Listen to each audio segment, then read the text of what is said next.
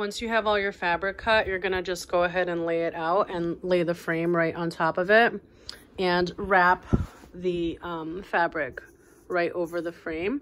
When you lay your fabric out, lay it out as straight as possible. That way when the feathers are vertical, the fabric also like it, it flows vertically instead of like having any weird dips in the fabric after gluing it.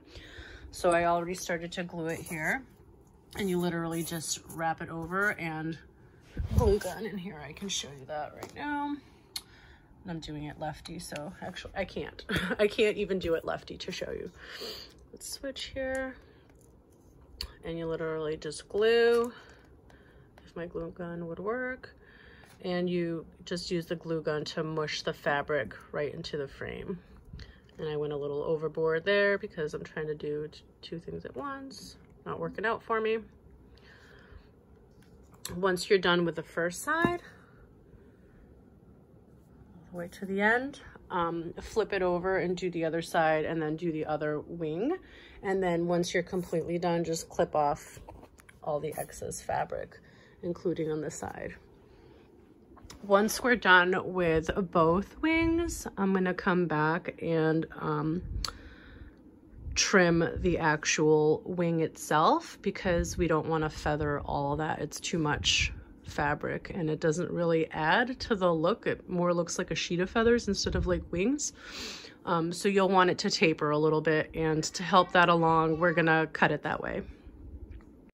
Something I'm not doing today is, uh, because I didn't buy the fabric, is I'm not covering this with the velvet or felt fabric that I have linked in um, in all the products in the first blog post. I just didn't buy it. Another thing that this needs is a little stabilizer piece in the middle. It'll keep it from spreading apart and coming together.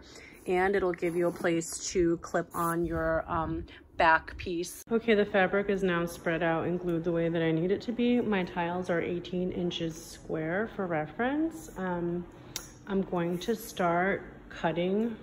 Let me see if I can mark this, even though I'm gonna show it. I'm gonna taper them like that. And that's actually not even gonna be the whole taper by the time they're done because when we turn them around to do the back part, they're gonna get tapered even more. Um, but that's just like the general starting point for where they start to taper.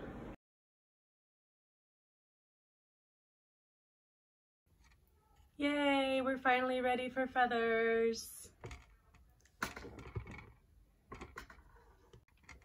Okay, so we're back where um, I've trimmed the excess fabric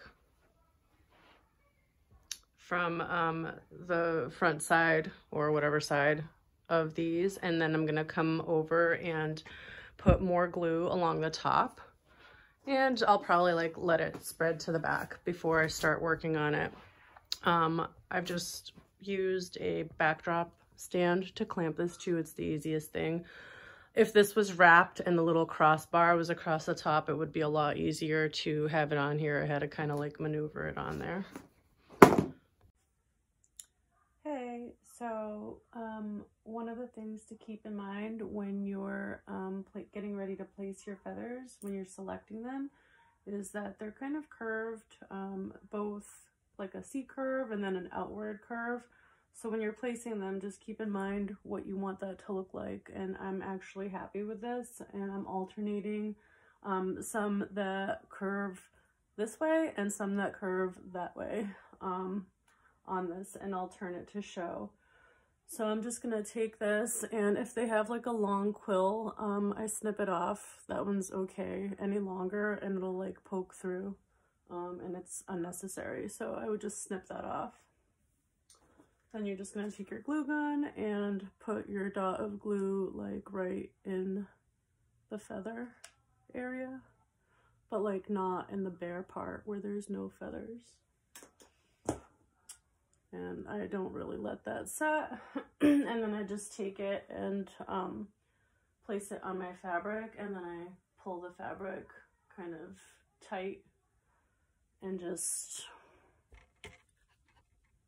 hold the feather and the glue and the fabric all kind of tight to each other for a second for it to set and it like instantly just sets.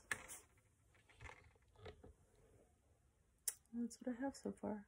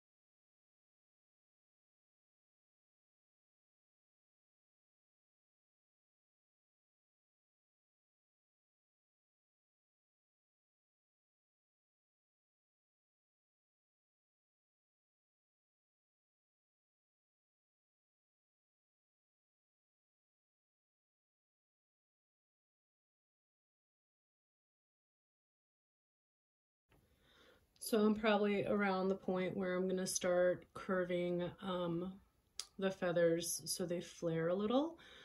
Um, and I'm also switching to the longer feather now. So you're just going to hold the feather like this and you're just going to gently bend it.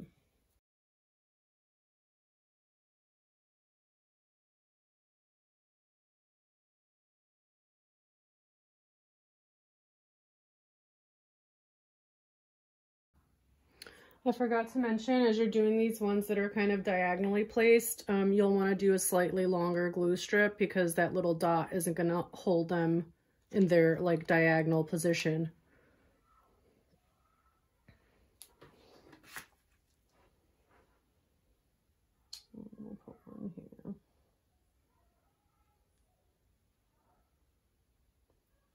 And then also whatever is resting against the frame, you'll want to glue to the frame. So as there's movement, there's no separation showing in any photos because you're just going to hate your life if you have to edit anything like that.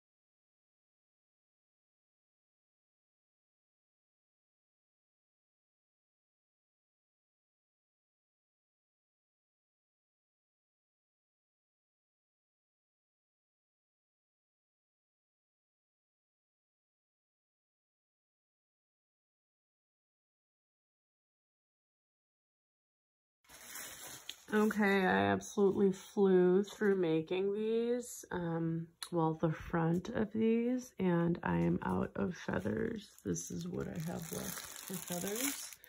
I'm probably going to need another 50 to 70. Um, I'll probably get the 14 to 16 inches. So this is the back. Um, this is what it looks like. And then this is what it looks like when you pinch in the middle. Um, and then I just use a little clip here, um, which is removable. That way I can line it up and then go around the front and make sure I like where that dips. And I feel like that's pretty perfect.